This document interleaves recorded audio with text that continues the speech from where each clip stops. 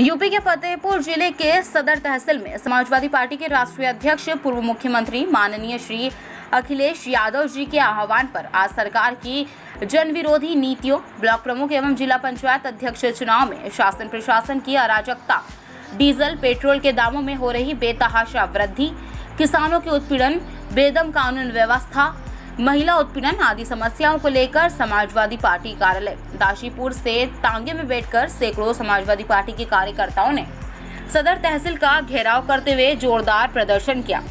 वहीं राज्यसभा सांसद विश्वंभर प्रसाद निषाद व जिला अध्यक्ष विपिन यादव की अगुवाई में सैकड़ों समाजवादी पार्टी कार्यकर्ताओं ने जोरदार नारेबाजी करते हुए सदर तहसील पहुंचकर अपनी मांगों को लेकर धरने पर बैठे रहे।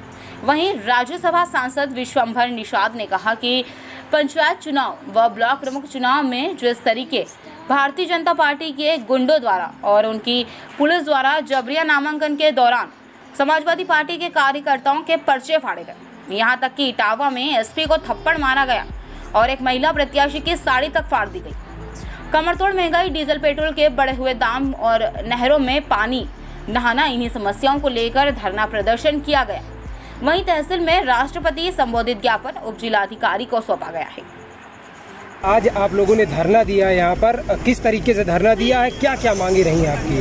देखिए ये सरकार जिस तरह से पुलिस के बल पे प्रशासन के बल पे चलाई जा रही है और जिस तरह से समाजवादी पार्टी के कार्यकर्ताओं का नेताओं का ब्लॉक प्रमुखी के चुनाव में और जिला पंचायत के चुनाव में उत्पीड़न किया गया है महिलाओं का चिरहरण किया गया है उसके विरोध में और महँगाई तेल आसमान छू रहा है, सौ के पार हो चुका है, डीजल नब्बे के पार हो चुका है।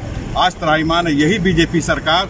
आने वाले पहले जब इक्कत चिल्लाती थी, जब पैंसठ रुपए तेल था, जब चिल्लाती थी कि महँगाई महँगाई, आज सौ के पार जू नहीं देख रही उसके अंदर। तो ये महँगाई, कमर तोड़ महँगाई है, खाद्यान्न महँगा हो गया है, तेल महँगा हो गया है, हर जगह महँगाई है। और भ्रष्टाचारी सरकार को हटाना है, और समाजवादी पार्टी की सरकार को बनाना है उसी के परिप्रेक्ष्य में राष्ट्रीय अध्यक्ष जी के आह्वान पे यहाँ पे तहसील में धरना प्रदर्शन दिया गया और ज्ञापन दिया गया जी आज यहाँ पर तहसील का घेराव किया गया है। किन किन मुद्दों को लेकर यहाँ पर घेराव किया गया है और किस तरीके आप तहसील तक पहुँचे? समाजवादी पार्टी के राष्ट्रीय अध्यक्ष माननीय अखिलेश यादव जी के आह्वान पर पूरे प्रदेश में आज तहसील मुख्यालय पे धरना प्रदर्शन किया गया है।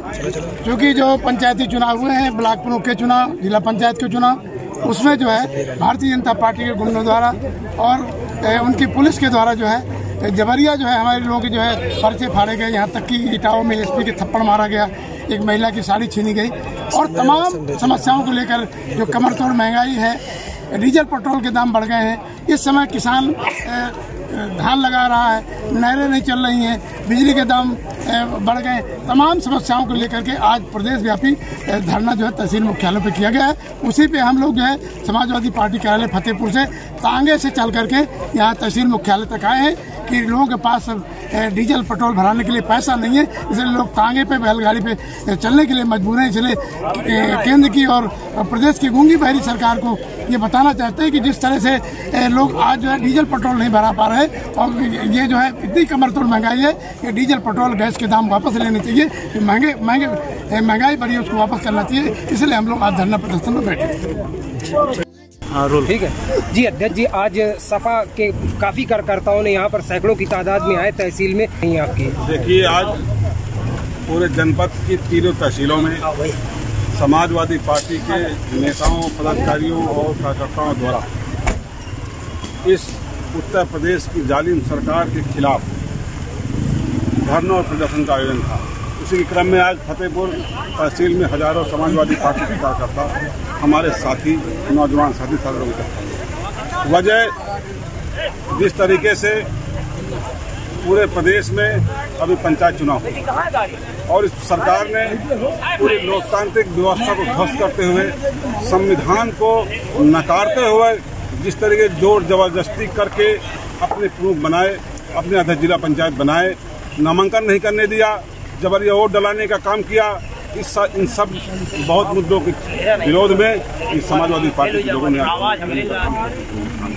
ज्ञापन किसको ज्ञापन उप जिलाधिकारी के माध्यम से महामहिम राष्ट्रपति महोदय को ज्ञापन देने का हम लोगों ने कुल मिला के लोकतंत्र की हत्या हुई। लोकतंत्र की हत्या संविधान खतरे में चुनाव निष्पक्ष नहीं हुए। किसानों की बदहाली को किसान जा रहा है। बेरोजगार नौजवान हुआ जा रहा है। बहुत सारे मुद्दे हैं। बिजली की कटौती है, नहरों में पानी नहीं है। धान, सिंचाई का समय है और गेहूँ खरीद का समय कम कर दिया गया है। गेहूँ नहीं खरीद हो पा रही है। अभी किसानों के घरों में गेहूँ है।